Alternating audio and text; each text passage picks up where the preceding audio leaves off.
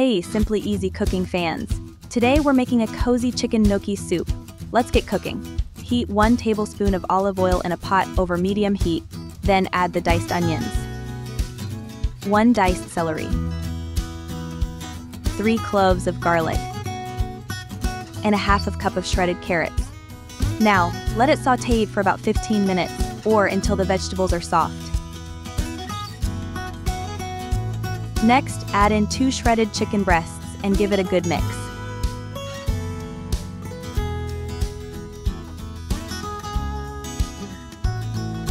Pour in 4 cups of chicken broth and mix thoroughly.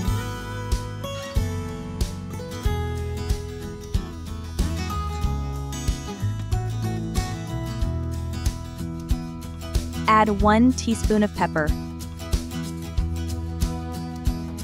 a half of teaspoon of salt, and 1 teaspoon of thyme.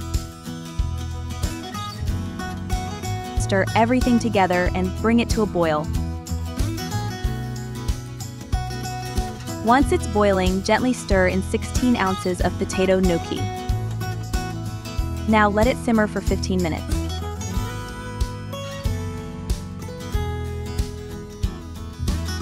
Next, pour in 2 cups of half and half, mix it thoroughly.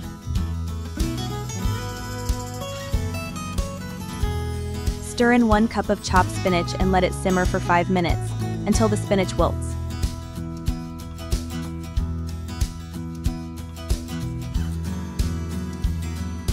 Thanks for cooking with me, Simply Easy Cooking fans. I hope you loved this comforting chicken gnocchi soup as much as I do. It's the perfect meal for any day. Be sure to try it out, and I'll see you next time with more simple and tasty recipes.